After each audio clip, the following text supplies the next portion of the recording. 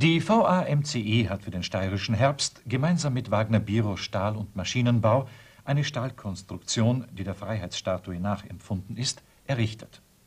Die über 30 Tonnen schwere Skulptur mit 54 Meter Höhe wird als Wahrzeichen für den steirischen Herbst 1992 ein Jahr vor der Grazer Oper stehen